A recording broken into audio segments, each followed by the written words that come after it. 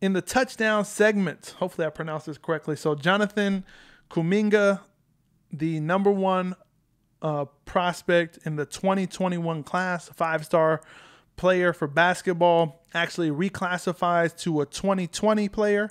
So he was part of the 2021 graduating class in high school. He reclassified. and You see this a lot because some of these athletes are actually held back a year. And again, you see it a lot where they reclassify, enter a graduating class, and decide where they're going to go after that. So he ended up doing that. He was the number one prospect in the 2021 class, reclassifies to 2020, and is set to join the G League. So this is this is bad news again for the NCAA. They're losing their top talent to G League. And I expect this to be a trend. They're losing their talent to the G League. They're losing their talent to HBCUs. Um, this is this is not good for NCAA basketball. I think NCAA basketball is is going to is they're going to go down. It's going to go down one way or another.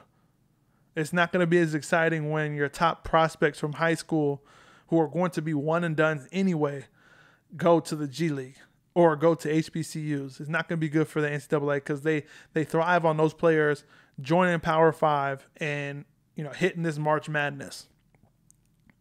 So, you know, Jonathan Kuminga, big ups to him. He wants to get that that money. He wants to get that check, and I can't blame him for that. So he's going to the G League, and he is, you know.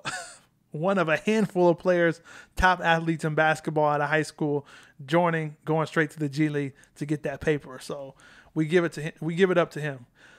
Thanks for stopping by. Make sure you guys hit that subscribe button for more fire sports takes.